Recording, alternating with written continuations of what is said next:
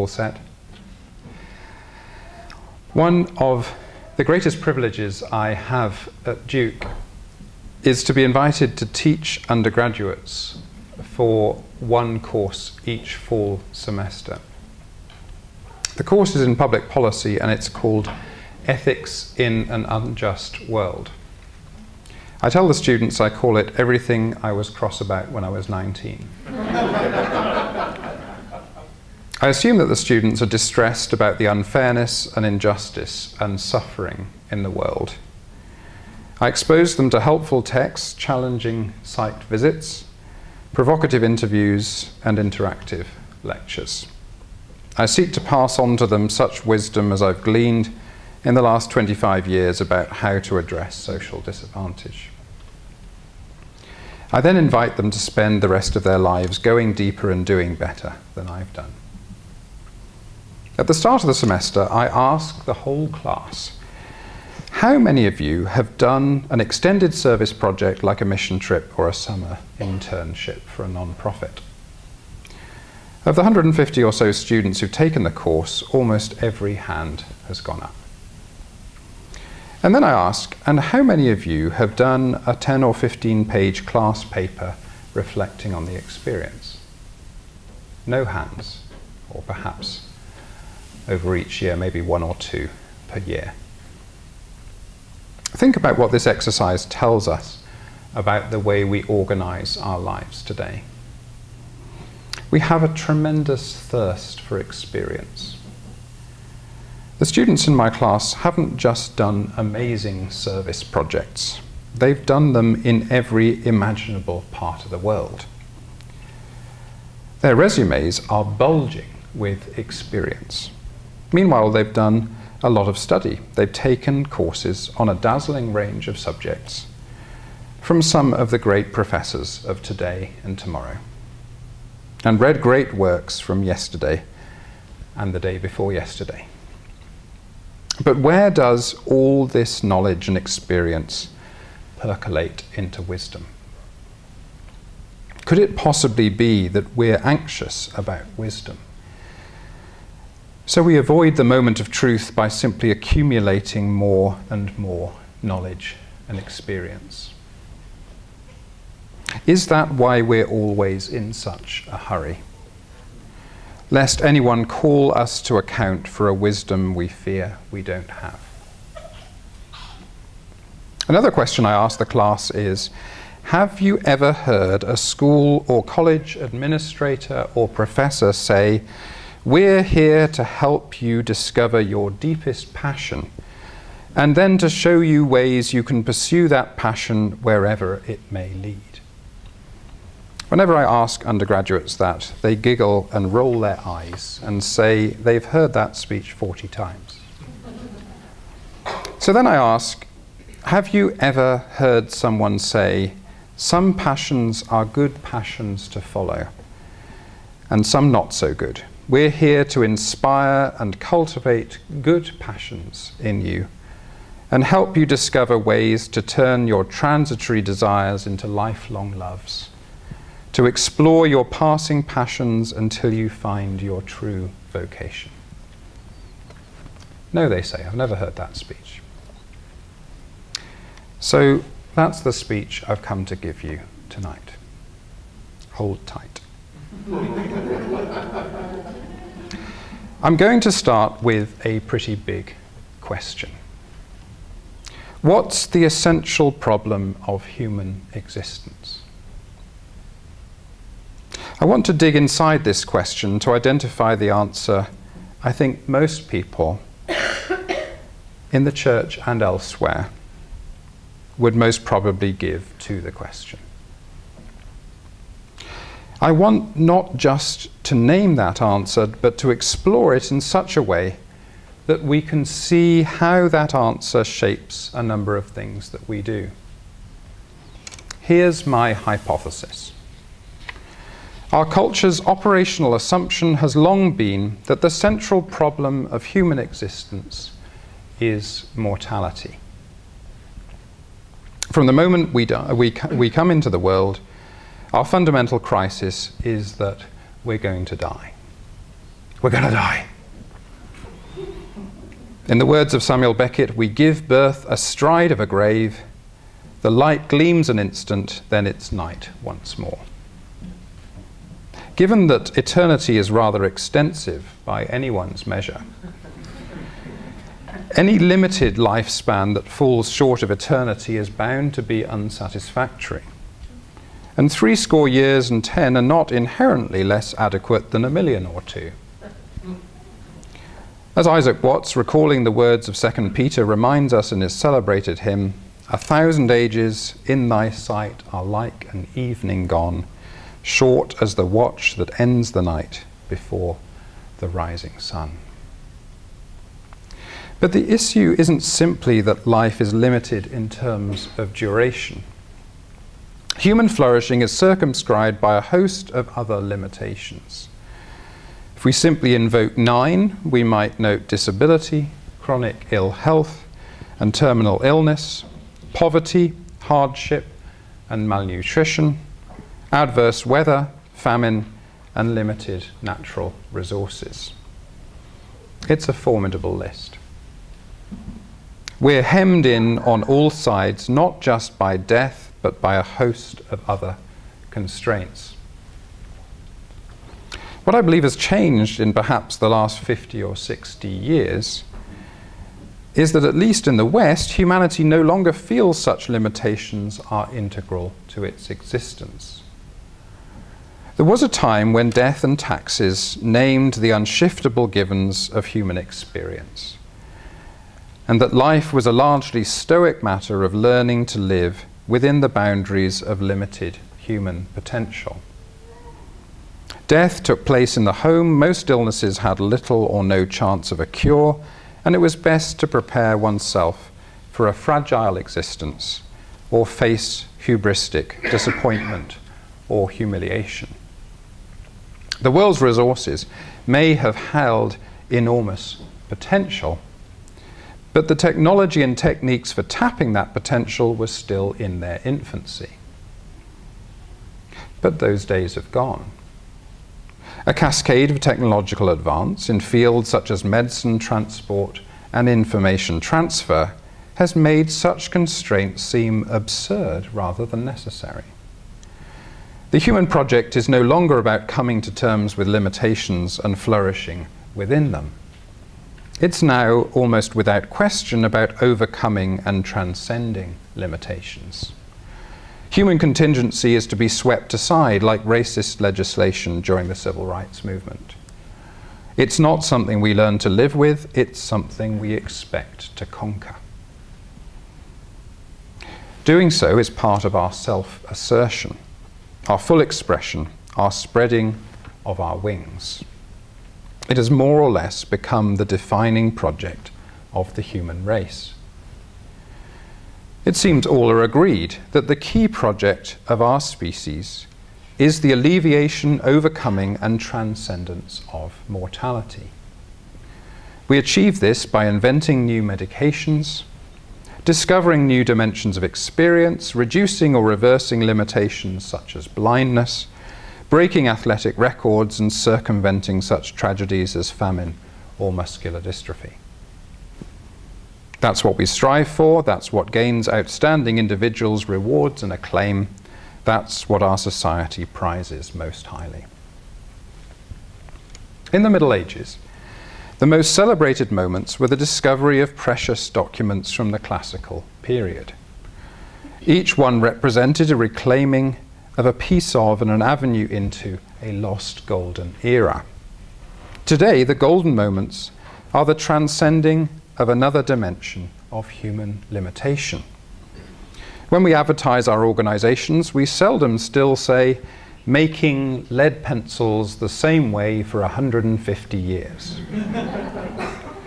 Instead, we say testing and stretching the boundaries of knowledge, making the impossible possible. The single notion that sums up this sense of throwing off limitations is freedom. And the term we employ to commodify freedom and give it retail value is choice. So, the basic line in promoting what we do is to say our product or service overcomes one or more of the real or perceived constraints of your daily or lifelong existence and thus gives you more choice. Now, when an organization wants to feel it's addressing wider human needs and not just feathering its own nest, it encourages its members to address what it perceives as the fundamental problem of human existence. Efforts towards that end are what the church calls mission and the world calls service. Mission concerns God's hopes for the world and the church's role in bringing those hopes about.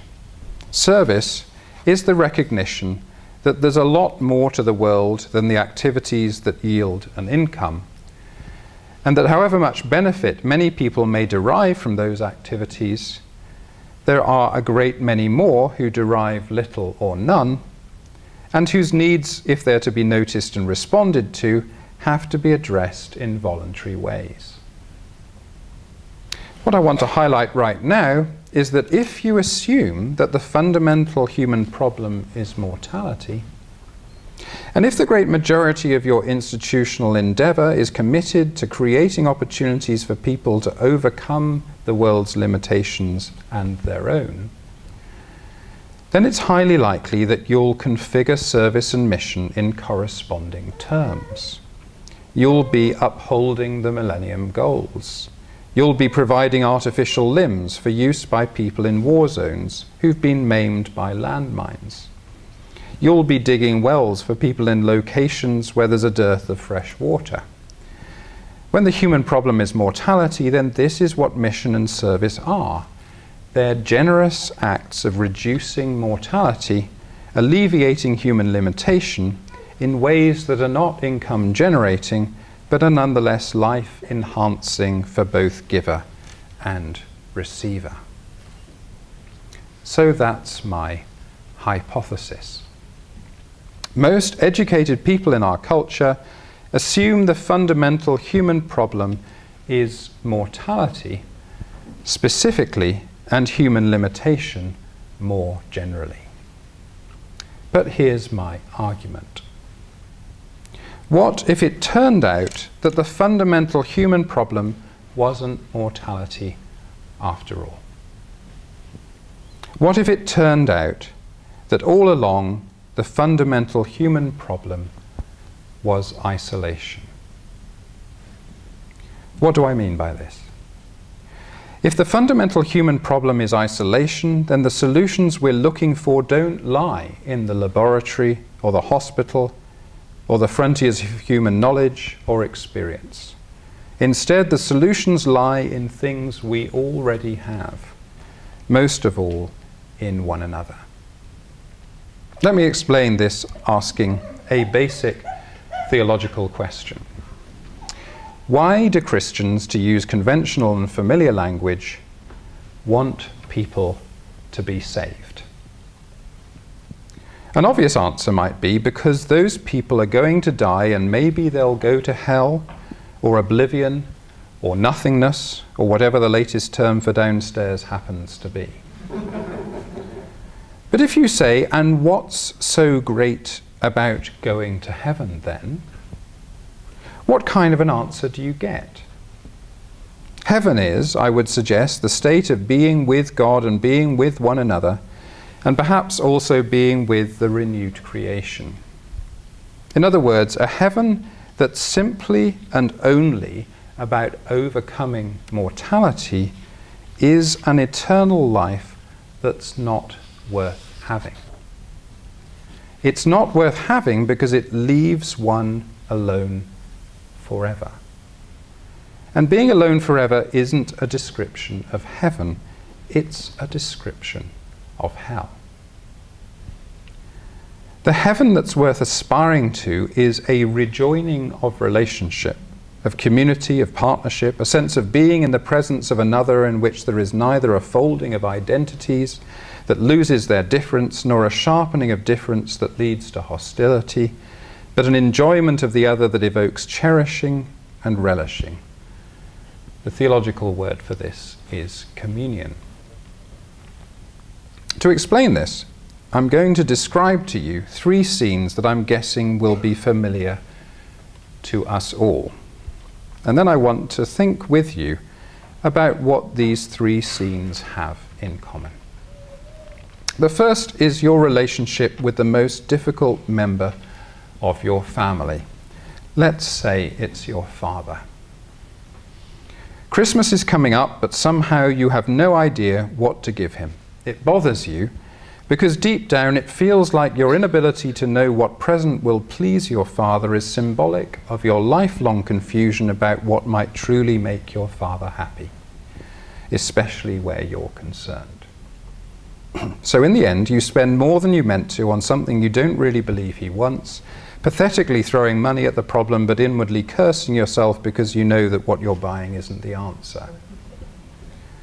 When Christmas comes and your father opens the present, you see in his forced smile and his half hearted hug of thanks that you failed yet again to do something for him that might overcome the chasm between you. Here's a second scene you have family or friends from out of town coming for Thanksgiving. You want everything to be perfect for them, and you exchange a flurry of emails about who's going to sleep where and whether it's all right for them to bring the dog. You get into a frenzy of shopping and baking. You're actually a little anxious that you'll forget something or burn something, so the kitchen becomes your empire and you can't bear for someone to interrupt you. And even at Thanksgiving dinner, you're mostly checking the gravy or reheating the carrots. As you say goodbye to your guests, you hug and say, It's such a shame we didn't really talk while you were here. and when they finally left, you collapse in a heap, maybe in tears of exhaustion. Here's a third scene. You feel there's something empty or lacking in the cozy Christmas with family and friends, and your heart is breaking for people having a tough time in the cold, in isolation, in poverty, or in grief.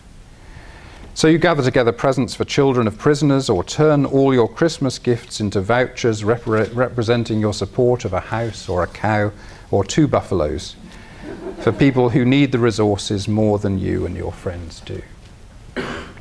What do these scenes have in common? I want to suggest to you that they're based on one tiny word. It's the word for. When we care about those for whom Christmas is a tough time, we want to do something for them. When we want our house guests to enjoy their Thanksgiving visit, our impulse is to spend our whole time doing things for them. Whether cooking dinner or constantly clearing the house or arranging activities to keep them busy. When we feel our relationship with our Father is faltering, our instinct is to do something for Him that somehow melts His heart and makes everything all right. And those gestures of for matter because they sum up a whole life in which we try to make relationships better, try to make the world better, try to be better people ourselves by doing things for people. We praise the selflessness of those who spend their lives doing things for people. People still sign letters. Do you remember letters? People still sign letters. Your obedient servant. Because we want to tell each other, I'm eager to do things for you. When we feel noble, we hum Art Garfunkel singing, like a bridge over troubled water. I will lay me down. Presumably for you to walk over me without getting your dainty feet wet. when we feel romantic, we put on the husky voice and turn into Bryan Adams singing, Everything I do, I do it for you. It seems that the word that epitomizes being an admirable person the word that sums up the spirit of Christianity is for. We cook for, we buy presents for, we offer charity for, all to say we lay ourselves down for. But there's a problem here. All these gestures are good and kind, and in some cases, sacrificial and noble. These are warm hearted, admirable gestures, but somehow they don't go to the heart of the problem. Your, you give your father the gift, and the chasm still lies between you. You wear yourself out in showing hospitality, but you've never actually had the conversation with your loved ones. You make fine gestures of charity, but the poor are still strangers to you. For is a fine word, but it doesn't dismantle resentment. It doesn't overcome misunderstanding. It doesn't deal with alienation. It doesn't overcome isolation. Most of all, for is not the way God relates to us. God doesn't simply set the world straight for us. God doesn't simply shower us with good things. God doesn't mount up blessings upon us and then get miserable and stroppy when we open them all up and fail to be sufficiently excited or surprised or grateful. For isn't the heart of God. In some ways, we wish it was. We'd love God to make everything happy and surround us with perfect things. When we get cross with God, it's easy to feel God isn't keeping the divine side of the bargain to do things for us now and forever. But God shows us something else. God speaks a rather different word. In Matthew's Gospel, the angel says to Joseph, Behold, the virgin shall conceive and bear a son, and they shall name him Emmanuel which means God is with us. And then in John's Gospel, we get the summary statement of what Christian faith means. The Word became flesh and lived with us. It's an unprepossessing little word, but this is the word that lies at the heart of the Christian faith. The word is with. Think back to the very beginning of all things. John's Gospel says the Word was with God. He was in the beginning with God. Without him, not one thing came into being. In other words, before anything else, there was a with. The with between God and the Word, or as Christians came to call it, between the Father and the Son. With is the most fundamental thing about God. And then think about how Jesus concludes his ministry. His very last words in Matthew's Gospel are Behold, I am with you always. In other words, there will never be a time when I am, when I am not with. And at the very end of the Bible, when the book of Revelation describes the final disclosure of God's everlasting destiny, this is what the voice from heaven says Behold, the home of God is among mortals. He will dwell with them as their God. They will be his peoples, and God himself will be with them we've stumbled upon the most important word in the Bible. The word that describes the heart of God and the nature of God's purpose and destiny for us. And that word is with. That's what God was in the very beginning. That's what God sought to instill in the creation of all things. That's what God was looking for in making the covenant with Israel. That's what God coming among us in Jesus was all about. That's what the sending of the Holy Spirit meant. That's what our destiny in the company of God will look like. It's all in that little word with. God's whole life and action and purpose are shaped to be with us. In a lot of ways, with is harder than for. You can do for without a conversation, without a real relationship, without a genuine shaping of your life to accommodate and incorporate the other. The reason your Christmas present for your father is doomed is not because for is wrong, not because there's anything bad about generosity. It's because the only solution is for you and your father to be with each other long enough to hear each other's stories and tease out the countless misunderstandings and hurts that have led your relationship beyond the point of being rescued by the right Christmas present. The reason why you collapse in tears when your Thanksgiving guests have gone home is because the hard work is finding out how you can share the different responsibilities and genuinely be with one another in the kitchen and elsewhere that make a stay of several nights a joy of with rather than a burden of for. What makes attempts at Christian charity seem a little hollow is not that they're not genuine and helpful and kind, but what isolated and grieving and impoverished people usually need is not gifts or money, but the faithful presence with them of someone who really cares about them as a person. It's the with they desperately want.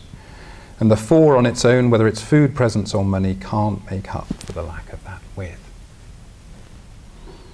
But we all fear the with. Because the with seems to ask more of us than we can give. We'd all prefer to keep charity on the level of for, where it can't hurt us. We all know that more families struggle over Christmas than any other time. Maybe that's because you can spend the whole year being busy, doing things for your family, but when there's nothing else to do but be with one another, you realize that being with is actually harder than doing for. And sometimes it's just too hard. Sometimes New Year comes as a relief and we can go back to doing for and leave aside being with for another year. And that's why it's glorious, almost incredible good news that God didn't settle on for. God said unambiguously, I am with. Behold, my dwelling is among you. I've moved into the neighborhood. I will be with you always. My name is Emmanuel, God with us. Sure, there was an element of for in Jesus' life. He was for us when he healed and taught. He was for us when he died on the cross. He was for us when he rose from the grave and ascended to heaven. These are things that only God can do and we can't do. But the power of these things God did for us lies in that they were based on his being with us. God has not abolished for. But God, in becoming flesh in Jesus, has said there will never again be a for that's not based on a fundamental, unalterable, everlasting, and utterly unswerving with. That's the good news of the incarnation. And how do we celebrate this good news? By being with people in poverty and distress, even when there's nothing we can do for them. By being with people in grief and sadness and loss, even when there's nothing to say by being with and listening to and walking with those we find most difficult rather than trying to fob them off with a gift or a face saving gesture. By being still with God in silent prayer rather than rushing in our anxiety to do yet more things for God. By taking the appraisal of all our relationships and asking ourselves, does my doing for arise out of a fundamental commitment to be with or is my doing for driven by my profound desire to avoid the discomfort, the challenge, the patience, the loss of control involved in being with? No one could be more tempted to retreat into doing for than God. God, above all, knows how exasperating, ungrateful, thoughtless, and self destructive company we can be. Most of the time, we just want God to fix it and spare us the relationship. But that's not God's way. God could have done it all alone. But God chose not to. God chose to do it with us, even though it cost the cross. That's the amazing news of the word with. The cross is usually portrayed as the ultimate moment of for. The definitive thing only God could do that God did do on our behalf. Let's think about the cross for a moment in the light of what we've seen about the word with. The cross is Jesus' ultimate demonstration of being with us. But in the cruelest irony of all time, it's the instant Jesus finds that neither we nor the Father are with him. Remember Jesus' agonizing words, My God, my God, why have you forsaken me? Every aspect of being not with, of being without, clusters together at the foot of the cross. Jesus experiences the reality of human sin because sin is fundamentally living without God. Jesus experiences the depth of suffering because suffering is more than anything else the condition of being without comfort. Jesus experiences the horror of death because death is the word we give to being without all things, without breath, without connectedness, without consciousness, without a body. Jesus experiences the biggest alienation of all the state of being without the Father, and thus being not God, being for this moment without the with that is the essence of God. Jesus gives everything that he is for the cause of being with us, for the cause of embracing us within the essence of God's being. He's given so much, even despite our determination to be without him. And yet he's given beyond our imagination because, for the sake of our being with the Father, he has for this moment lost his own being with the Father. And the Father has longed so much to be with us that he has for this moment lost his being with the Son, which is the essence of his being. Here's the astonishing good news at this central moment in history. Jesus, the incarnate Son of God, had to choose between being with the Father or being with us. And he chose us. At the same time, the Father had to choose between letting the Son be with us or keeping the Son to himself, and he chose to let the Son be with us. That is the choice on which our eternal destiny depends. That is the epicenter of the Christian faith and our very definition of love. From this moment, we can see that the word with becomes the key to the whole story the Holy Trinity is the perfect epitome of with, God being with God. The incarnation of Jesus is the embodiment of with, God being with us, being among us. The crucifixion, as we've seen, is the greatest test of God's being with us because we see that God in Christ is so committed to being with us that Jesus will even risk his being with God to keep his commitment never to be separated from us. The resurrection is the vindication of God's being both with us and with God, and the ultimate and perpetual compatibility and unity of the two.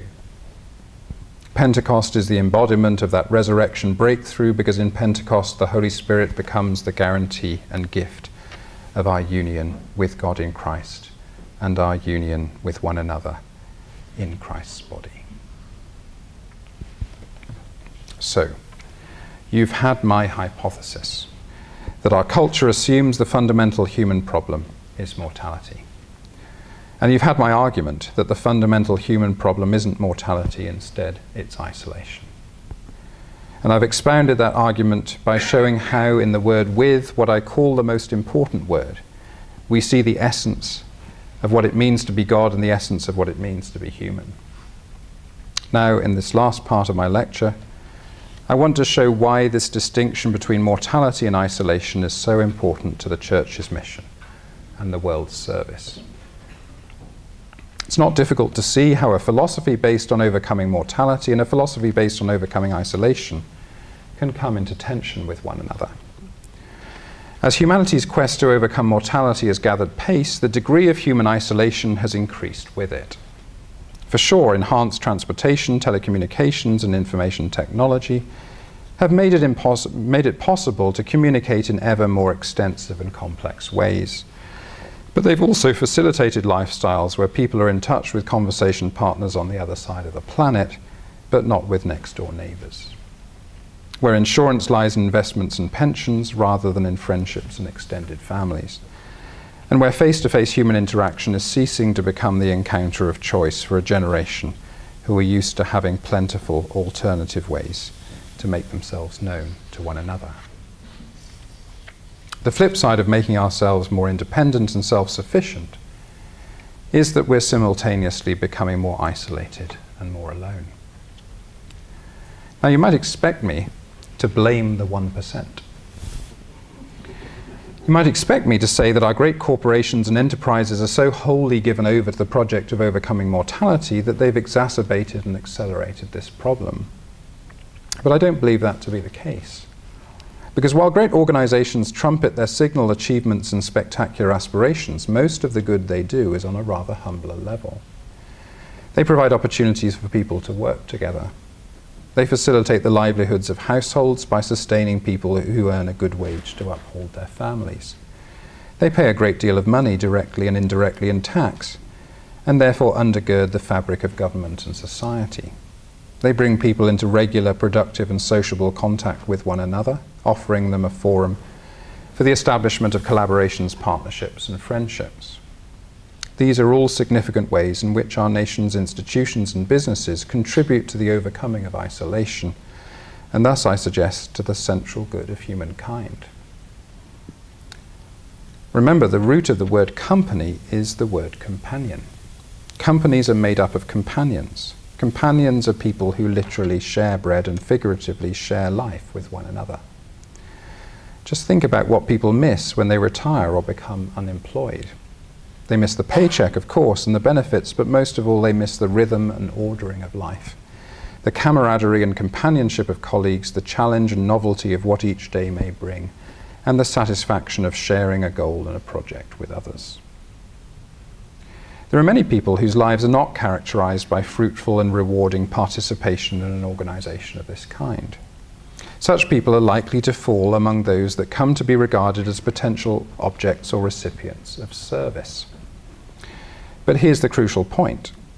If you see the central quest of life as being to overcome isolation, rather than to overcome mortality, your notion of service and of mission will change accordingly. Service and mission that seek to overcome isolation don't look to technology to solve problems or reduce limitations.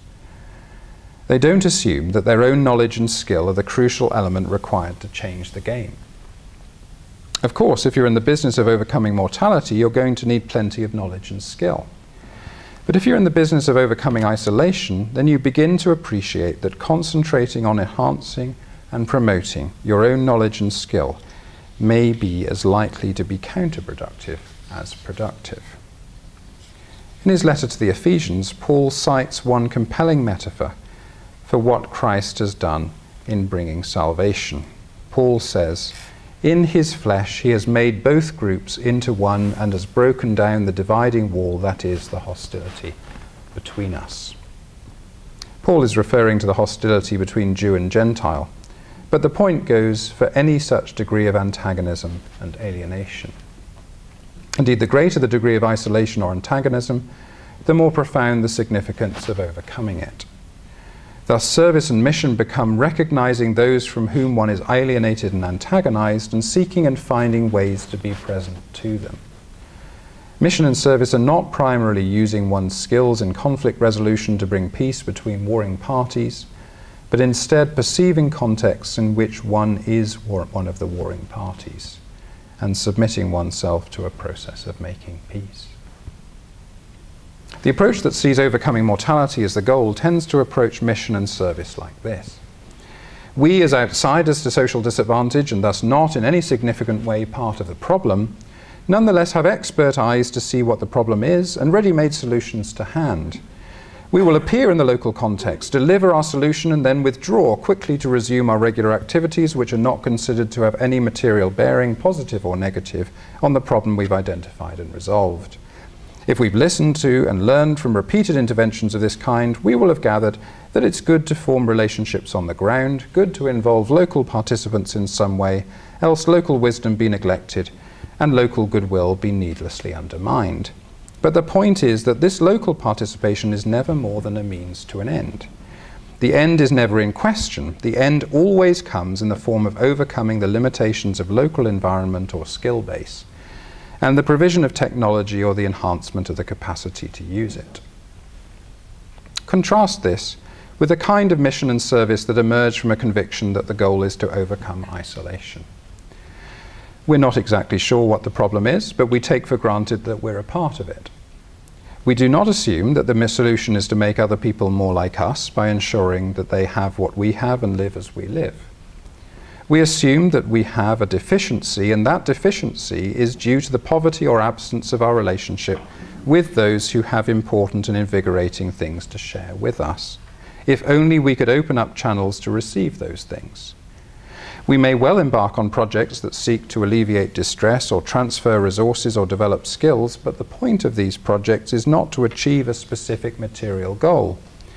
These endeavours are simply means of forming relationships from a safe common starting point. These projects are ladders that will fall away once the relationships are in place and genuine dialogue is happening.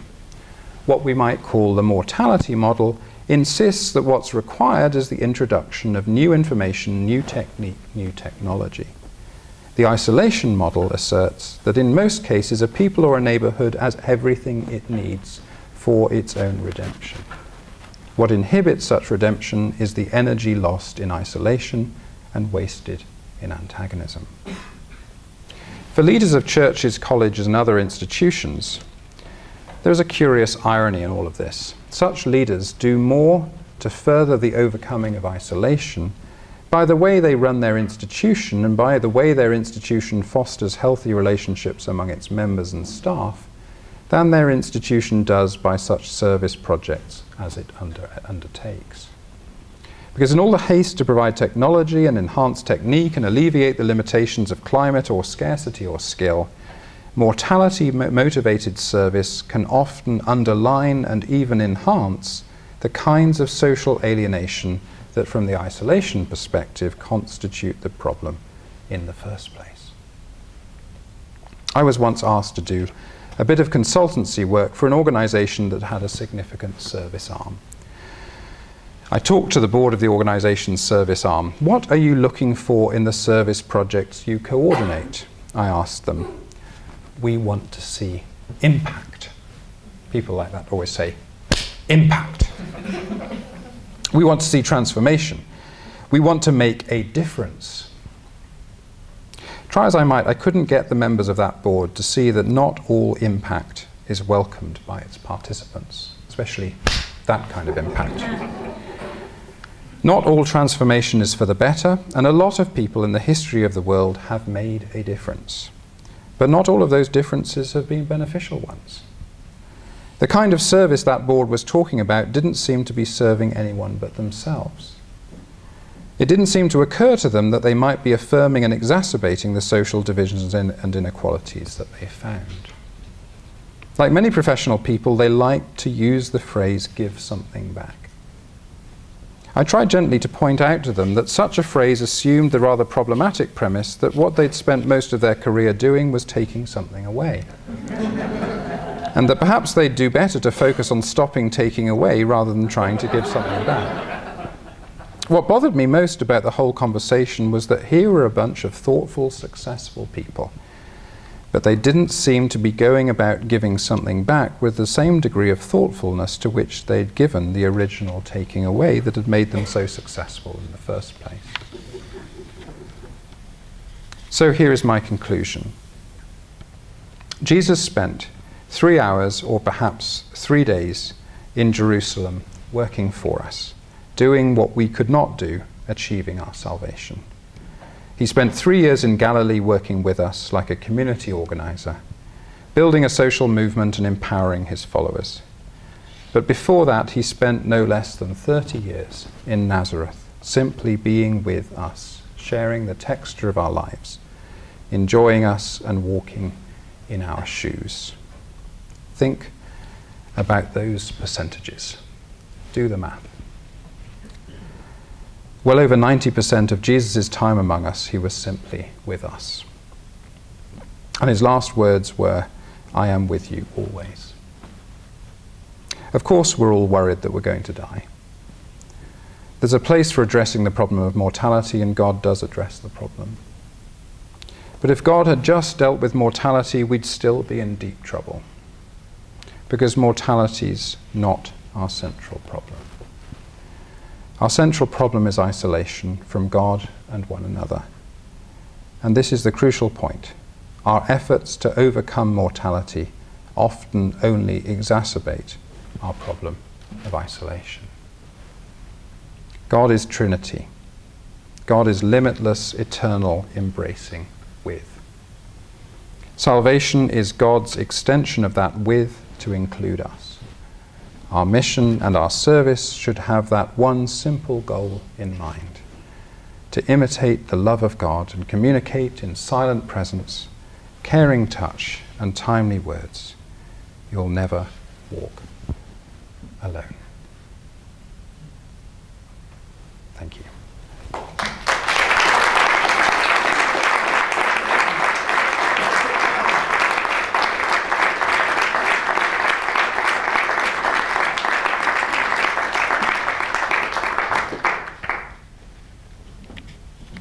we have some time for question and answer. So if you have a question, we have a mic, and we'll bring around to you. Yes, do you have your question? Suzanne, will you ask Dr. Wells to repeat the question so that we have him on our uh, web broadcast? Yes. Thank you.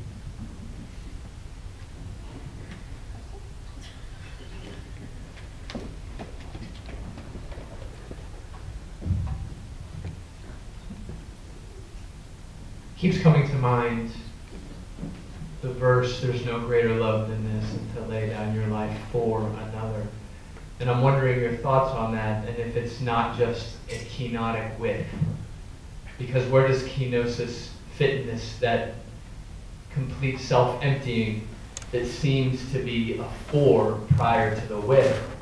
Or is it just a kenotic with that looks like a for? I don't know. Um, I think it's a kenotic with that looks like a for. Uh, let's look at one or two examples. Um, in the Tale of Two Cities, uh, Sydney and Charles fall for the same woman. Charles gets the woman um, and marries her, but Sydney remains in love with Lucy for the rest of the book. And Sydney feels uh, ashamed of his life and decides that the one thing, uh, Sydney and Charles look identical, like identical twins. And so Sydney decides that when Charles is put in prison in France in the 1790s, what he's going to do is he's going to kind of kidnap Charles and substitute himself for Charles. And the, the, um, and the novel finishes with it's a far, far better thing that I do now than I've ever done. It's a far, far better rest that I go to than I've ever known. And, uh, and it, there's clearly something uh, Christ-like about that. But there's still something that's clearly not quite satisfactory. because this, there's this incredible gesture for Lucy. And, and as a kind of, um, it's a kind of gesture to redeem a life. And it's a beautiful gesture. Um, but you know, if, if one imagines what life was like for Charles after that gesture, I think it's a, it's a very hard gesture to receive, despite the fact given his life. And I think in the language I was using tonight, I would say because it's a little bit too much for. Whereas the, um, the kenosis that we see in the Passion, I think, is exactly the kind that you're describing. It's a, it's a, um, it's a, it's a for based on a fundamental, absolutely unbreakable with, you know, in, in, in Barth's language, God's, uh, God's decision never to be, except to be with us in Christ. I mean, that's, that's a fundamental with. When Barth uses the word for, he means on our side, not in, in our place in, in, that context when you know Barth often uses for and with together in, in terms of that decision. Um, you know, for rather than against. you know, is that, so that's slightly confusing, I think. Um, but, but, but I think I think you've you've kind of answered your own question in the sense that, that I, I, I see it as a uh, as a, a, a, kind of kenotic with that's, that refuses ever to be to be separated. You know, nothing can separate us.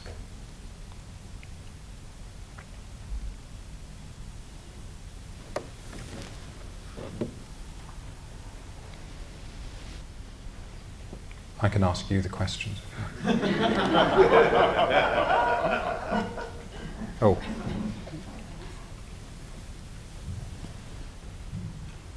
Well, I want to know if there's a partially spoken plea for contemplation in what you're saying, behind what you're saying. And um, just thinking about as you spoke that possibly the hardest person to be with is myself. And maybe the second hardest is God and everyone else is incredibly hard. and, um, that uh, by contemplation, I'm not sure what I mean, but it has to do with being in a state of being and perceiving and not doing, and practicing often by oneself, not trying to make things happen, either mentally or physically. And all that seemed to, to fit with what you were saying, but I wondered what you thought about it. Yeah, again, uh, the, the, so the question is, I don't think I repeated the last question, did I? Uh, the question is whether, um, uh, whether this language of with is a, is, is a um, rhetorical way of, of uh, inviting us to, to be with ourselves and to be with God, uh, which are in some ways precursors and in many cases harder than being with other people. Yeah, um, I mean, I, I, again, I would say you've described it very well. Um, that's, uh, uh, you know, and, uh, but I, I, and I do think, you know, personally, that's, that certainly affects the way that I pray. Because I'm, I'm really, um, I'm not saying, um, God, please fix the result of the Republican primary in, Lu- in Louisiana, you know, so that finally Ron Paul will get what we all long for him to get. Um, but God, be with, be with Ron Paul like never before, um, in ways that that may transform America, but will certainly transform Ron Paul. Um, and that's the same prayer that I'm asking for myself. um, it is, uh, as I said in my remarks, we for is easier than with most of the time, and we want God to do for us, you know, we, and spare us the relationship. But prayer is coming into the presence of God, saying, This is about the relationship, and any, any end product is a bonus. Um, I think you speak very personally about um, the hardest person to be with is oneself. I think there is a kind of, I think there are different ways to be alone. You know, I think there are uh, people who love to be with other people and need to remember that um, you know, perhaps in some cases particularly, I mean, it's easy to talk about priests in this company, you know, they have a very important job to do and they need to, to, to withdraw for a period of time to remember that sometimes, rather than just to be a people pleaser or whatever the temptation might happen to be. Um, and so there's an element of for in that, which I think is appropriate. Um, but if you know if you if you say you know and I put it fairly simply in the lecture if you say that the holy trinity is the three persons of the trinity being with one another forever um, and if you see if you say that salvation is being with God and one another forever then um, then it, it makes you think that maybe this being with thing is quite important that we should spend more time. time, more time on it now, so we'll be better at it when the time comes. And I, I think I think being with oneself has to be has to be part of that. I mean, I think I see that as being the um, you know what's sometimes called the two greatest commandments, but are really the three greatest commandments. You know, love God, love the neighbor, and love the self. Thank you.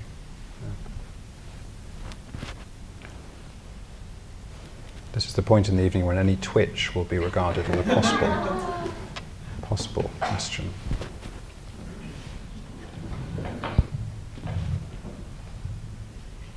Uh, in your first thing, you, you nailed me with the description of the, the father. My father was 90. I was just with him this past week in Mississippi, and we've had a difficult relationship over the years. And I was thinking that the five days that I was there, I did everything I could so that I did not have to be with him. Um, because it is a, has been a difficult relationship. And uh, I think there's been forgiveness there, but it's still very hard. Uh, so that is, I think you, you really nail um, forgiveness and reconciliation, particularly with family members whom we love um, but I want to see if you have any wisdom to impart um, from your own experience, perhaps, uh, in, um, in being more intentional. Uh, if I tried to sit down with you and say, okay, Dad, I want to be with you, you know, it'd be really hard. But I just want to see if you have anything else to say about that particular um, interaction with those Um, well, I'll, I'll, the, the question is, a, is about uh, if I have any practical uh, advice about being with the people that we find it hard to love but are called to love. Um, I think I'll give a, a, sort of a general answer and a specific answer to that, if I may. The general answer is that I have, I have four questions that I commend to people um, in making relationships across social disadvantage. They certainly have a place within the family as well, because it's really making relationships across the dividing wall of hostility, as Paul calls it. Um, and the first um, the first one is uh, tell me about a way in which you're rich. And the second one is tell me about a way in which you're poor. And the third is let me tell you about the ways in which I'm poor. And the fourth is let me tell you about the ways in which I'm rich. And I, um, I, I just try to create situations where that kind of conversation can take place in a, in a way that doesn't seem forced. Um, so that would be the general answer in terms of difficult relationships. And of course, you know, depending on whether the person is eight years old or 88 years old, you, you know, you modify the the form of the question, but you, but the content is more or less the same. Um, and so, I, I mean, again, in terms of your father, I would say, yeah, you modify the form of the question, but um, uh, but the content is more or less the same. That's to say, um, you know, if, if you're 88 years old and all your life is constituted by relationships in which you're the needy one, you know, it's a humiliating existence, perhaps particularly, uh, either if you spent all your life like that, or if you haven't spent the earlier part of your life like that, and now you find yourself constrained to be in such a place. Um, and so I think the place to begin is tell me about the ways in which you're rich you know, because uh, the most, you know, the most healing power is gratitude. Um, and the way you love someone is to see their abundance, not their scarcity. Um, so that's the place I would begin. Um, but then, you know, compassion is about, is about seeing the scarcity as real or perceived. Um, and then volunteering your own scarcity, particularly if you're someone who's seen as a person of abundance. Uh, but not pretending that scarcity is the whole, and therefore, you know, the fourth question is about your own abundance. But your own abundance ideally would include him. Uh, uh, you know, finding a way to articulate. Um, but in terms of reconciliation more generally, um, reconciliation begins with telling a truthful story. You don't need Desmond Tutu to tell us that. You know, I mean that's, and so it does have to include saying the things that are really hard to say, and and and um, one of the hard things to say is, you know, I really don't look forward to coming to see you, but I I wish I did, and I kind of wonder if maybe you don't look forward to me coming. And so we've come to this arrangement by which I do all the jobs that uh, I could possibly think of to do for you and a few more that don't need doing. And then, you know, that's like the middle of the Venn diagram. that's the overlap place where we both think this will this will be adequate. But actually we both know it's not it's not it's not what we're looking for. And Sure, that's what new mothers do with their in laws. You know, they find jobs for them to do around the house because they can't bear the vulnerability of being off work and having to face 48 hours of the in laws. They, you know, that's just, you know, but, but again, the same conversation, more or less. Is, you know, and yeah, I've, I've had those conversations. and I still need to have them in some places, no doubt about it. I down here. I work at school, and so, you know, service learning, service and mission is an important part of our organization, just like many organizations. And so I guess my question is sort of a practical one that, um, how would you envision sort of our current model of service and mission in organizations like churches and schools um, being transformed into something more incarnational and relational and not just the giving and the floor? Um, yeah, so the question is about in a school context, you're talking about a high school context. One through 12. Well, right. Um, and how in schools and churches the kind of philosophy that I'm advocating could be more imbued into those kind of contexts. Yeah, I mean, I, I one of my things I do for my sins is to into to interview students for one of the scholarship programs at Duke, and so you see. Um, you see these bulging CVs, and then I, I host a dinner for the finalists, you know, where they're trying to show how humble they are despite their extraordinary talents. um, with mixed success. Um, but of course, from time to time, someone will slip into the conversation that they've done 2,000 hours of community service. And because, I'm, as you understand, I'm highly professional, I resist the temptation to say if it was really service, you wouldn't be counting. But that's, that's kind of where we've got to, as you probably know better than I do. um, and I think I've spent a lot of my seven years at, at Duke doing precisely, I mean, precisely trying to answer your question. Because um, no, let me be, let me, let me, let's just pretend that I don't speak with an English accent for the next 10 seconds, okay? So hear this, not as a criticism of America, really, but from someone who loves America so much that I've spent the last seven years here and loved every minute of it. The relationship between Duke and Durham is one in which nobody can possibly imagine why, if you had the choice between the two, you wouldn't choose Duke. That's the problem with the relationship. You know, it's Yale New Haven, to use another example. Like, I'm not sufficiently of a Texan to understand that. Um, it's surprisingly like the relationship between America and the rest of the world. Um, and if an American says to me, why does the rest of the world hate us? I say, it's because nobody I've met in America can possibly imagine why anyone would want to live anywhere else. and if people at Duke say to me, why do people in Durham hate us? I say, it's because of the same problem. we just think we're it.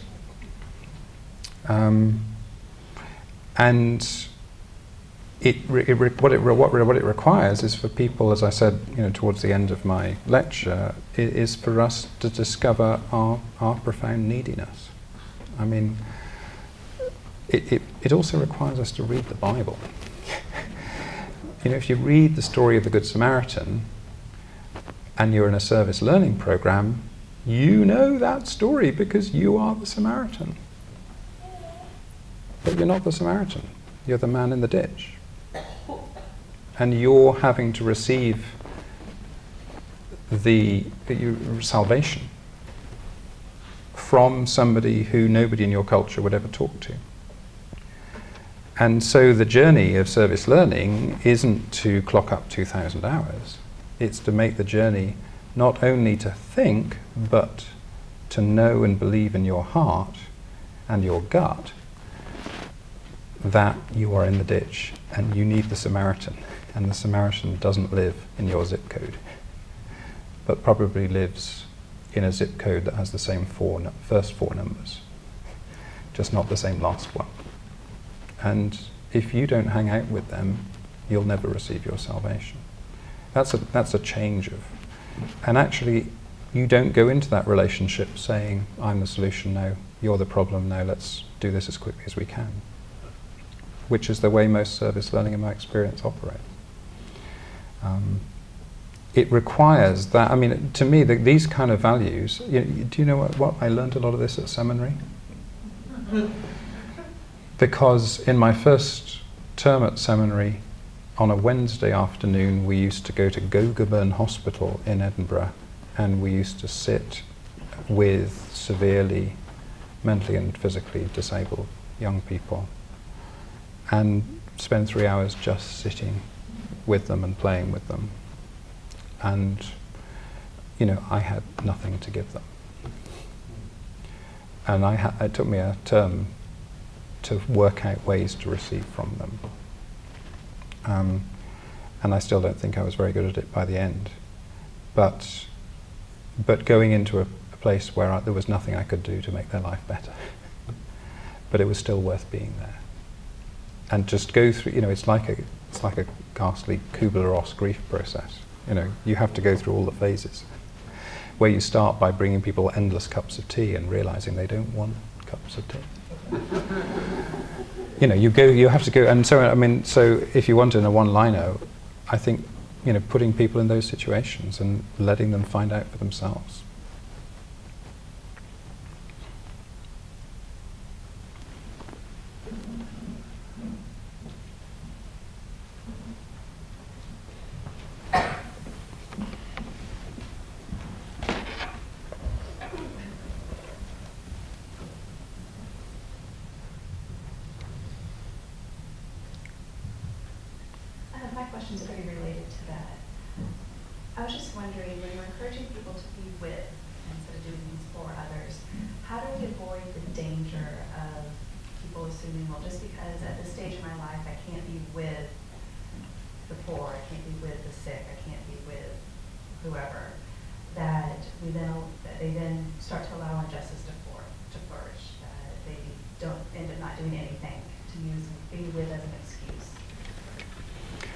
I, I think it's the job of clergy and people who run parishes and run schools and things to find ways, to create ways, you know, to facilitate those things. So, I mean, um, I wrote a book called Living Without Enemies. I don't know if it's one of the ones that's around tonight, but uh, uh, which was really about uh, the journey a friend of mine made from, uh, in terms of addressing gun violence in Durham, from um, starting by trying to change the laws in Raleigh, which she did pretty successfully until the NRA managed to pass some laws through that said that any laws made about guns in local, you know, um, units were invalid. You know, very clever. Um, so you know, she really made the journey from working for to working with to being with, and we narrate in the book about how she did that. I wrote it with her. Um, but one of the things that she now does is she uh, arranges re-entry teams for people coming out of prison because one of the sort of conversion moments for her, as she described it, was when she realized that the people getting shot and the people doing the shooting were pretty similar people, sometimes the same people. Um, so what, uh, before that point, she'd been arranging vigils on the site of homicides in Durham for a number of years. And I've been to a lot of those and um, I mean that's you know that's that's a half hour commitment, six o'clock in the evening, with a few days' notice. You know most people can find a way to do that, even if they're stuck at home with the kids. They can get a spouse to come home a little bit earlier that night, so they you know so there's a, an element of being with about that. But clearly there's what that lacks is an ongoing relationship, which is pretty crucial to being with. Uh, so when she started, she created re-entry teams when some um, some men walked past the, a vigil and said, you know, you're doing a good thing here. And it turned out that six weeks later, one of them had been shot. And, it, and actually, she'd also discovered that they'd walked past the vigil because they were coming out of prison after being in prison for a good deal of time. And uh, so what happens in these re-entry teams is that we have one at Duke Chapel, and one of the vice presidents at Duke's in it, one of the um, support staff for, for the uh, president or the secretary to the university's office is in it, and you know a bunch of busy professional people are in that um, that team. A guy who works for IBM, uh, and they sit down for an hour every two weeks. Again, most people can find an hour every two weeks. Um, and there's five or six of them in the team, and then there's a uh, a uh, there's a partner who's just come out of prison, having done something pretty ugly, and they're together for nine months, meeting every two weeks for an hour, uh, and then if it goes well, which it has in every one but every case but one out of the nine they've had in that team, that partner becomes a member, and then they have a new partner, and so the team gets bigger as each partner becomes a member, and so then you're really turning prisoners from, you know, needing support to, to giving wisdom. Uh, and of course, the truth of what happens is that the group realize that they're all in prison in one kind or another, and they start to talk about the ways in which they themselves are in prison. And certainly the vice president, that you probably wouldn't mind me saying, you know, he, um, he worked for one of the major accounting firms, and he realized that he was in prison and being a partner for one of those, you know, and, and he's got a, you know, a significant story that he's articulated through being part of that team of, of how, you know, how imprisoned he was in that life. Um, so it takes someone like my friend to arrange those kind of things. It's very hard for someone to say, "Oh, I'm going to befriend, uh, you know, uh, uh, somebody who's who's killed somebody." You know, I'm just going to go out and make a friend of someone who's killed. You, you know, you don't, you just don't know how to begin to do that. So yeah, it's for a whole criminal justice resource centre and social workers and you know a whole bunch of people. That's what those people's jobs are to create those sorts of relationships uh, which can be sustained for, for years. Um, and so, but, but as my friend has discovered, um, I don't think she uses the word justice anything like as much as she used to. However, I think she uses the word salvation more than she used to because that's what's going on in those situations. She used to think that justice was going to rally changing the laws about handguns in Durham. Um, and that would have been great. I mean, don't get me wrong, I'd love the laws about handguns. Uh, there's no justification for anyone in Durham needing a handgun. None whatsoever. I'd love those laws to change tomorrow. Uh, that would be justice in some ways. But that's not going to happen um, in any foreseeable way. But over the period of about 15 years, she realized there were some other things that she could do. And so that's what she's done. So I don't think there's a lot of people who can't find an hour every two weeks however difficult it may be for them to be with, you know, you just have to be with in more constrained, organized ways. And that's, you know, there's no church in America that couldn't have a re- entry team on that kind of level. And, you know, you guys who are at seminary now are going to be priests and you're going to spend, um, well, I won't even describe some of the things you're going to spend a large amount of your ministry doing. but let's just imagine you're going to spend ridiculous amounts of time providing a um, preschool nursery for over affluent children of under imaginative parents. Um, you know, in a downtown setting where everyone has to drive 10 miles to get there, it's not an appropriate setting, it's not necessarily furthering any kind of mission of the church. Just, I mean, just off the top of my head you know, if you just took a fraction of that time per week, you know, you could, you could, you could see yourself as someone who, who organised something like this and maybe was a member of the team yourself. So I, I don't think it has to be an either or. you know, I'm too busy to be with, I'm too needy to be with, I'm too, um, you know, overworked, over, over stressed at home or whatever it might be. I, think um, it just requires imagination. I mean, that is, you know, that, that is what the priest should be in the community, the agent of imagination, who who says, yeah, okay, so you're you've got 55 children of your own, and life is difficult at home, and you're also holding down a 60-hour a week job. I appreciate life is quite demanding for you at the moment, um, but actually, I think this is something that really would work for you. You know, I have a conversation like that about twice a week at the moment. But the great thing about my job is I don't have to do all the organising of those activities. I just, I just have lunch with the posh people who want to give something back.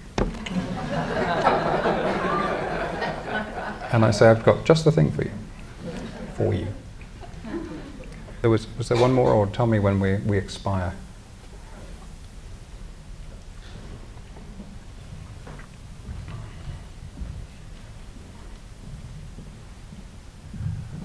So, um, from the questioning, people seem to be pretty happy with the with. Um, if one were being perhaps slightly, you've kind of vilified the, the for a little bit, I might suggest. You used the word, ex- you know, you, you talked about it exacerbating problems sometimes. Mhm. So, so where does what you've said leave the for? I think it depends who you are. You know, I think it, if it dep- if you're the if you're the person that's given the uh, expensive but useless Christmas present to your father for the last 20 years, it leaves you with some big questions to ask. Um, but I think uh, any kind of ministry is going to include some level of for at some stage. Uh, you know, I mean, I think it really depends on context. I think I've sort of gone on a bit of a crusade about the with. Um, first of all, because I really do believe what I said theologically about the with. I really think eternally the with has it. Um, but also because I, and I think on a personal level, this is my reaction to much of what I both love but also struggle with about mainline Christianity in America, is that it's um, it's construed mission so overwhelmingly about form. Uh, and you know, the I'm I'm very I'm I'm grieved for the recipients of that mission, but I'm most of all grieved by the people offering that mission because I think their own ministry has been impoverished by that. Um, uh, you know, I, I talk about being for, being with, working with, and working for quite a lot, and I think a healthy life and a healthy community includes all of those. It's not like one of them's boo, ah, hiss. Um, and when I talk about these things, I, I as you say, I, I possibly uh, rhetorically um, stress the one uh, for rhetorical effect to some extent. Um, if I thought there was, and, and, and I, when I teach that ethics and unjust world class, we talk about for and with a lot, not in quite the same theological terms. Um, and I usually get the question, you know, what if all of us stopped being pre-med and we all went off and lived in L'Arche communities or something like that? And I always give the same answer. If I thought there was the slightest danger, I might think differently, but I don't see the remotest danger. Um, and, and usually, you know, there's, uh, there's one or two students a year who come and see me a year later and say, I changed my um, my major or something like that. In fact, there was one. There was I gave a lecture, not this, not not, not, this lecture, but a, a lecture about uh, about the kind of themes I ended with today about how Jesus spent 30 years in Nazareth, and so maybe so, should we. And uh, at the end of the lecture, one of the students put up his hand and said, yeah, "This is a Duke student. You get this." Um, you know, I liked your lecture, but it's you know it's a bit difficult for me because I'm really smart. I mean, I'm I'm quoting here. So, yeah. um, you know, uh, and, and I've, I'm very talented, and it's just really hard to feel I'm going to waste. You know, if I follow what you're saying, I'm just going to waste all these abilities. Um, and I said, you know, I'm, I'm really sorry. Um, but you know, don't you think it was quite difficult for Jesus as well? Because you know, he was quite talented. you know, but he he seemed to have. Um, so it is partly for rhetorical effect. There is a place for for. I, for example, I certainly think uh, government is a good thing, and there's a lot of for in government. But again, the, s- the same point's true. Representative democracy only works if you believe your representatives are with the people that they're representing. Um, medicine, sure, I, I'd like, um, you know, I've had my health problems in my time, but boy, is there a difference between going into a hospital and some faceless person doing some operation on you and the same person sitting on the side of the bed two days before and just saying, I, I haven't done one of these operations before and I don't know exactly what we're going to find. Um, but I'm going to do my best, and I've done a lot of operations, and I think you can trust me. That's a very different experience. Um, so even in the most for of professions, there's a with way to do it. Uh, that's my minimum. um, but, but so often, as with Thanksgiving and Christmas, my experience is that for is a substitute for with. And it takes somebody sometimes to just knock you over the head and say, come on, we know what we're talking about. So, good question. Okay, well, I think, thank you very much, um, Dr. Wells, that was excellent. Uh, We are going, we have a reception here um, next. Uh, We also have continuing education certificates, uh, if anyone is interested in those. They'll be at the table, there's a, we have a table of Dr. Wells' books, and he's going to be available to sign books if you're interested in him signing a book that you have. So, thank you again.